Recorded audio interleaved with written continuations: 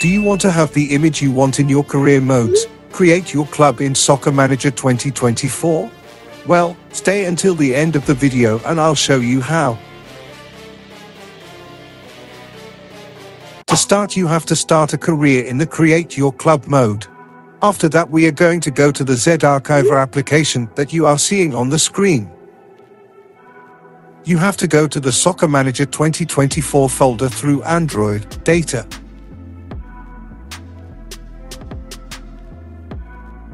Now we will go to Files and CAC Badges.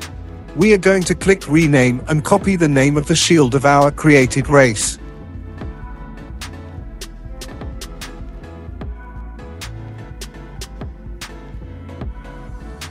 Next we go to the image that we want to implement, in my case it was in the Downloads folder.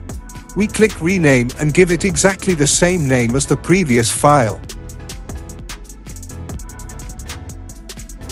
We click on Copy and go back to the Soccer Manager folder.